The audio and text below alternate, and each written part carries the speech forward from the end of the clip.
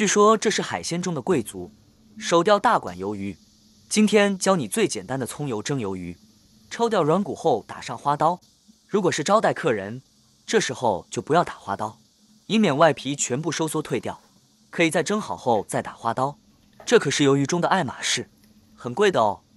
随后整齐的摆放在盘中，送入蒸箱中，蒸两分钟即可，不然肉就老了。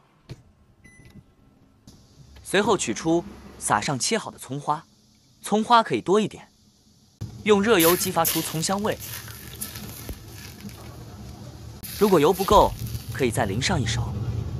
浇上生抽，这道葱油蒸鱿鱼就做好了。我觉得这是鱿鱼最好吃、最鲜嫩的吃法，鲜嫩脆爽，原汁原味。